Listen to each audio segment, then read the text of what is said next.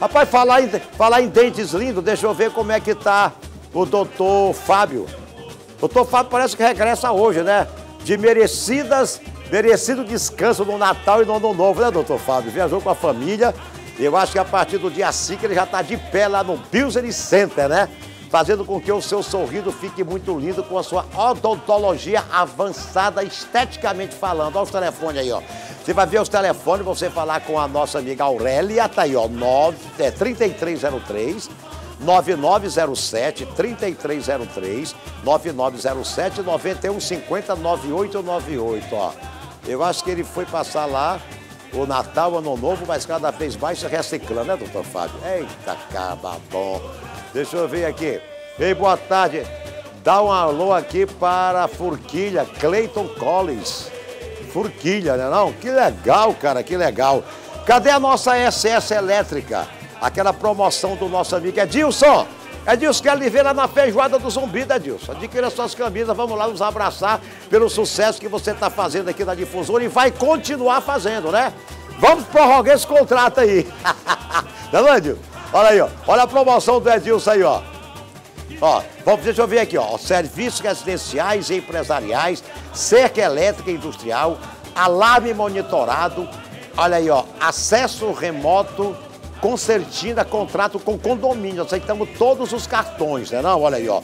Projetos elétricos, olha aí, tudo com o meu amigo Edilson, que tem os telefones aí para você ligar. 3304 9498, o telefone convencional, e o 88747146. Elétrica e serviço eletrônico, segurança é uma coisa importante, né, Dilson? Né, não? Muito legal. Olha aí, eu quero abrir só um parêntese, produção. Eu quero que você me envie esse link para, para ontem o meu amigo Eduardo, que há muitos e muitos anos dirigia a ADECOM. É uma administradora de condomínio, né? Ele faleceu ontem aos 76 anos de idade. O meu amigo Eduardo, ele dava assistência a vários condomínios do Maranhão, inclusive o nosso, o Vina Delmar, que tem como síndica a minha querida e amada conterrânea Nádia Carvalho, né, que está fazendo um trabalho maravilhoso, né não? E Jesus o chamou ontem, né? E o, o, o velório aconteceu na Pax União e às 10 horas hoje seguiu para a sua morada eterna, Quero levar o meu sincero pêsames a Rose, a sua esposa, e todos os funcionários da DECOM que tinham com, no Eduardo um exemplo de trabalho, um exemplo de dedicação, um exemplo de amor e carinho aquilo que faz, tá bom? Teve uma passagem muito linda como tenente lá do, da Aeronáutica no CLA em Alcântara, tá? Que Deus realmente seja ao seu lado, meu amigo Eduardo. Gente muito boa, Eduardo, tá bom? Ok. Vitor da Vila Palmeira, né? Olha aí, rapaz, que legal, né? Não? Olha, falar em pessoas que se foram, o meu amigo poeta Carlos Alberto, da Assembleia Legislativa do Estado do Maranhão, ele nos enviou aí é, uma nota de agradecimento, né? Da família da deputada Cleide, né? Não? E a deputada Cleide com o filho George e Georgia, né? Não? para as pessoas que lá estiverem em Caxias naquele momento de muita dor, né não? E acima de tudo, tem aí também a missa de sétimo dia. A nota, vamos ler essa nota, por gentileza? Só um pouquinho, vamos lá. Olha aí. A doutora Cleide Coutinho, os filhos George, Georgia, a nora Juliane, os netos agradecem em nome dos familiares Barroso e Coutinho o carinho, a consternação e as lindas homenagens que os caxienses e todos os maranhenses da nossa região prestaram ao seu querido marido, pai, irmão, tio, cunhado, empresário, médico e deputado Humberto Coutinho.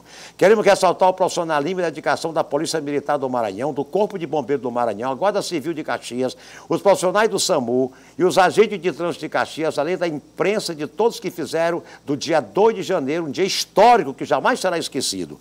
Agradecemos também a todos os nossos colaboradores, principalmente os funcionários da Santa Casa, Casa de Saúde, da Facema, Cefa, da TV Sinal Verde, da, da Fazenda Santa Clara e todos que durante décadas conviveram com o nosso amado Humberto.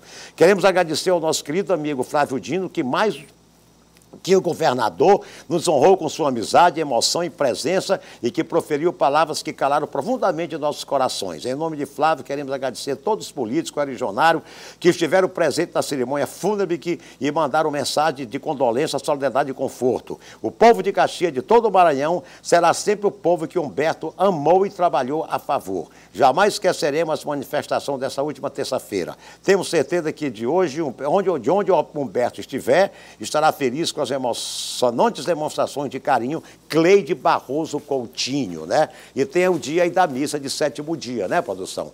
Que vai acontecer, logicamente, na cidade de Caxias, né não?